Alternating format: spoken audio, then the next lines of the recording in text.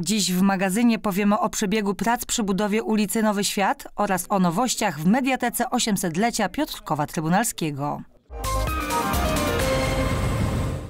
Prace przy budowie ulicy Nowy Świat na rozbudowującym się osiedlu 800-lecia idą pełną parą. Na osiedlu w śladzie ulicy wykonano już całą infrastrukturę podziemną. Wybudowany został wodociąg oraz kanalizacja. Obecnie prace skupiają się na robotach brukarskich. Wzdłuż drogi obsadzone są krawężniki, układana jest ścieżka rowerowa z chodnikiem oraz zatoki postojowe. Budujemy w tej chwili ulicę, e, która łączy e, ulicę Broniewskiego e, z Wieżejską, ale właściwie można nawet dalej powiedzieć, że będzie można bez problemu, kiedy tę ulicę wy- wybudujemy, przejechać od ulicy Wieżejskiej do ulicy Sulejowskiej poprzez ulicę Regana.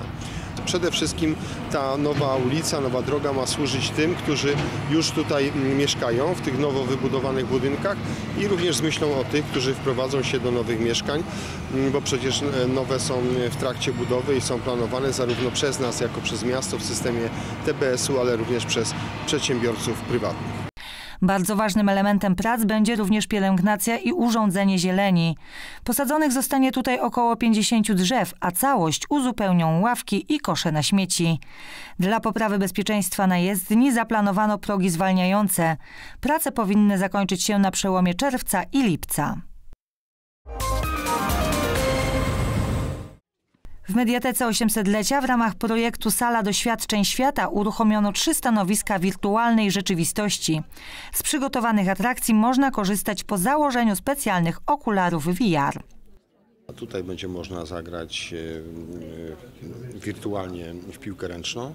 E, Tutaj będzie można polecieć balonem nad miastem, a także przebrać się w, stroje z minionych epok, tak aby przenieść się również w czasie do, tamtych, do tamtego okresu.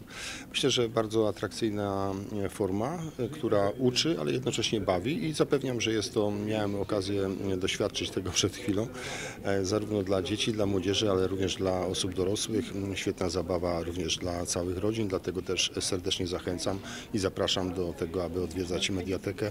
Przypomnijmy, w Mediatece funkcjonuje już Sowa oraz Majsternia, gdzie można przeprowadzać własne eksperymenty czy wcielić się w konstruktora.